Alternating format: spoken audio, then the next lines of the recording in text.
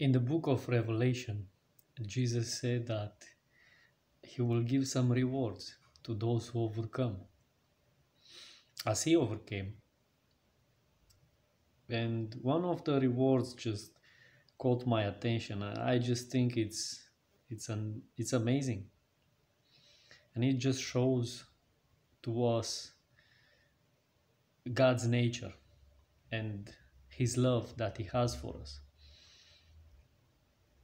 Jesus said that to those who overcome, He will give from the hidden manna to eat from the hidden manna. And also, He will give them a white stone on which there's a name that nobody else will know, only that person to whom it's given. I think this is amazing. I think I don't know why this just it's it's baffling for me to be honest because of course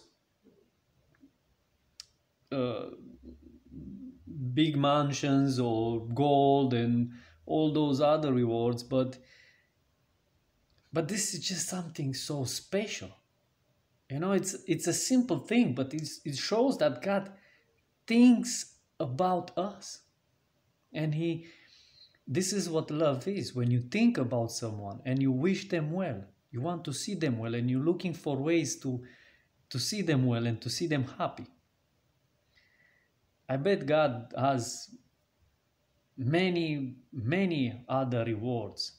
But he mentioned this because I think it's special.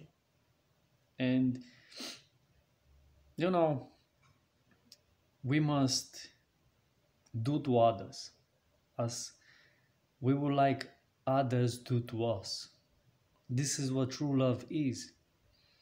So, we must be partakers of the godly nature